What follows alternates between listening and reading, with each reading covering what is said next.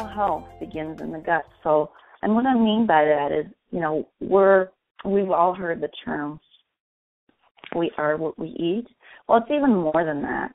We are what we absorb and we're able to take out of our food and use in our bodies. So if our gut is not healthy, um, it's going to affect the rest of the body.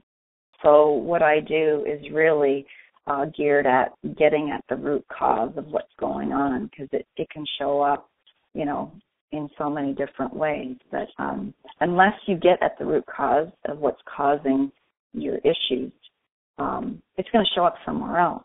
So you know, we've we've all become accustomed to the um, you know band aid uh, sort of uh, fix for things. You know, we all want instant fixes, um, and taking a pill, you know, masks the symptoms quite often.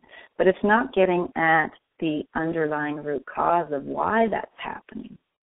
Um, and the only real way to fix it is to uncover the root cause. I know what it feels like to to feel that hopelessness, and um, there's always hope. The answers are always there um, somewhere.